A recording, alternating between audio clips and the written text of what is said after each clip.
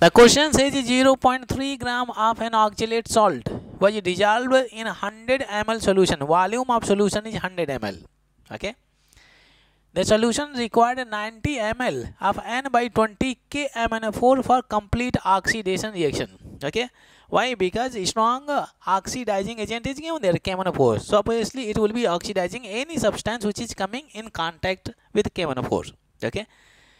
The question says percentage of oxalate ion in the salt is. Okay. What is the mass percentage of oxalate ion? Okay. And total mass of the salt is given here 0.3 gram is there okay out of 0.3 gram how much oxalate ion is present and that value we need to calculate okay and what is its percentage the first of all we need to calculate the mass of oxalate ion present in this mass okay so from the oxalate salt you can see there are two substances oxalate salt and KMnO4 okay from the oxalate salt we can get oxalate ion I remove the spectator ion. So we have oxalate ion C2O4 it is 2 minus is there. Okay, metal ion I remove as a spectator ion. We have K14 is there. If I remove spectator ion K plus then I will get permanganate ion. Here we have the permanganate ion. MnO4 minus is there. This is the actual reaction is taking place. Okay, now we can complete the reaction. You can see this is a strong oxidizing agent. Then oxalate ion will undergo oxidation reaction. And when it undergoes oxidation reaction it always converts into carbon dioxide in which carbon is present in its maximum oxidation number. Okay? Oxalate ion coming from oxalic acid. It means this reaction is taking place in acidic medium. Then we can say MnO4 minus will always convert into Mn2 plus in acidic medium okay so permanganate ion always converts into Mn2 plus in acidic medium reaction is complete okay we completed the reaction now since uh, the question is talking about uh, two substances oxalate ion and permanganate ion so we can apply the concept of milliequivalence number of milliequivalence of this substance is equal to number of milliequivalence of this substance and if we apply the concept of milliequivalence we need to apply no we need to calculate the n factor value. Equation is ready. N factor value can be calculated. Why we need n factor value? Because the formula we have. Number of milliequivalence number of milliequivalence remember very important. Millimoles millimoles multiplied by n factors. And next we have normality multiplied by volume in ml okay and next we have molarity multiplied by volume in ml and multiplied by n factor value. These three formula you should remember. Okay and based on the data provided we apply any of these formula. Okay pay attention carefully you can see n factor is given here. We need to calculate n factor. In case of normality if the normality is given here we don't need to calculate n factor because normality multiplied by volume in ml n factor is not required. Okay always balance the number of atoms before balancing the charge. We can find out the oxidation number for the same atoms on both sides of the equation. Then we calculate n factor value. 2 carbon uh, other side 1 carbon multiplied by 2 4 2 is 8 minus 2 is there plus 6 2 carbon is equal to plus 6 1 carbon is present in plus 3 oxidation number other side. 2 2 is 4 carbon is present in plus 4 oxidation numbers. Okay? If 1 carbon is plus 3 if 1 carbon is plus 3 then 2 2 carbon will be present in plus 6 oxidation numbers other side. 1 carbon is plus 4 then 2 carbon will be present in plus 8 oxidation number. Very interesting.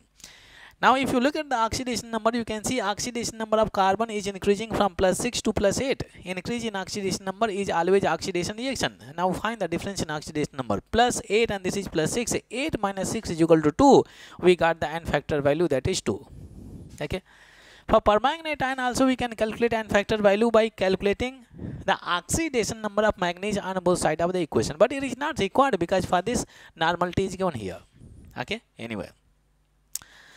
Apply the concept of milliequivalence. Number of milliequivalence. Number of uh, milliequivalence of uh, C2O4 it is 2 minus is equal to number of milliequivalence of we have MnO4 minus MnO4 minus.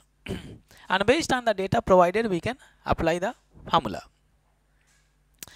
Number of milliequivalence of oxalate ion is given here. Okay? For this oxalate salt you can see volume is given here. And you can see the percentage of oxalate ion we have to calculate means first of all we have to calculate the mass of oxalate ion present in this total mass. And if we happen to calculate the moles of oxalate ion we can easily convert moles of oxalate ion into mass of oxalate ion and moles we can get from the molarity molarity multiplied by volume because volume is already given here n factor we already calculated. So we have the formula molarity multiplied by volume. How much volume is there? 100 ml. It should be in ml. And what is the n factor value in this case? 2 is there. Other side. If you look at the data for potassium permanganate you can see volume is given there and normality is also given there. So we can apply the formula normality multiplied by volume in this case. Always keep in mind you can see any of the formula equal to the number of millicoulomb you can use based on the data provided. Okay? So normality we have 1 by 20 and multiplied by what is the volume? 90 is there. Now we can simplify. Okay? Pay attention carefully. We have a molarity is equal to we can transfer 200 because it is multiplied by 200 so this is 90 divided by 20 and this is 200 200 is there zero zero cancel out so nine by four hundred we are getting molarity we are getting nine by four hundred okay nine by four hundred now pay attention carefully molarity sorry it is molarity molarity is equal to nine by nine by four hundred for the oxalate ion volume of the oxalate salt is equal hundred M L volume is known molarity is known moles of oxalate ion can be calculated apply the formula of molarity भैया molarity is equal to moles absolute divided by volume in liter. Volume should be in liters. Okay. Molarity we know it. That is uh, anyway I can write this expression in this way also. Moles is equal to molarity and multiplied by volume in liters okay what is the molarity we calculated 9 by 400 i write 9 by 400 is there 9 by 400 multiplied by volume in liters and you can see in the question the volume of the oxalate salt is given 100 ml so 100 ml i can convert into liter so 100 ml is equal to what 0.1 liter is there 0.1 liters okay so let's plug in here we have 0.1 liter is there 0.1 liters so if I remove the decimal, it will become uh, 10. So 9 by, we have 4000 is there, 4000. These many moles we got. Now we can easily convert these moles of oxalate ion into mass. And this is what we are looking for okay? This is what we are looking for. So first of all we can calculate molar mass. Because we have the formula mass is equal to mass is equal to mole multiplied by molar mass. Molar mass very interesting concept okay? Oxalate ion molar mass we can calculate. Molar mass of oxalate ion molar mass of oxalate ion C2O4 it is 2 minus is equal to 2 carbon and each carbon is what 12 plus 4 oxygen 4 multiplied by 16 is there it is 24 and this is what 64 and this is equal to 88 is there molar mass of oxalate ion is 88 now we apply this formula to calculate the mass of oxalate ion okay? So we have mass of oxalate ion mass of oxalate and C2O4 2 minus is equal to 9 by how many moles? 9 by 4000 9 by 4000 and multiplied by 88 is there. If you want to simplify okay?